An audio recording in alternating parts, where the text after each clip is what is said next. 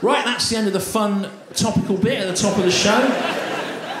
It's not really of interest to me, that sort of stuff. I just do it because I'm sick of reading people going, the reason you don't see Lee on Have I Got News for You is because he can't write economic topical jokes. Well, I can write them, as we've seen, I can write them very easily. But um, it's beneath me, uh, it's beneath you, and it's time now to move on into the punishing experimental stand up that has kept me out of the arenas for 35 years now.